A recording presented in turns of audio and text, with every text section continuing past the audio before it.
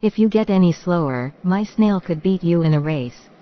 Oh, please, even your snail would fall asleep waiting for me to cross the finish line. I'm about going to sleep, can you guys get a little more boring? Sure, we'll start counting the grains of sand in the desert. That should put you right to sleep. He can't find his way out of a wet paper bag, how's he going to beat the maze?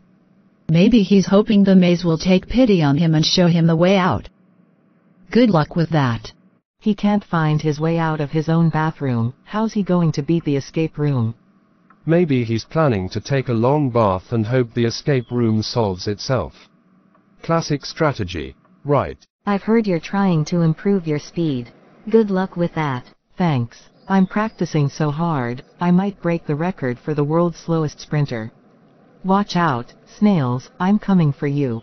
Is it just me, or is this show more boring than watching paint dry? Oh, definitely. I heard they're releasing a director's cut with even longer pauses. Can't wait to be in a coma by the end of it.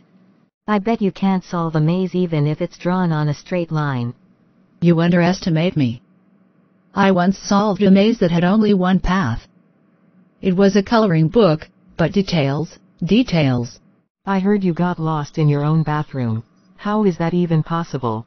Well, I mistook the shower curtain for Narnia and spent an hour looking for Aslan. Spoiler alert.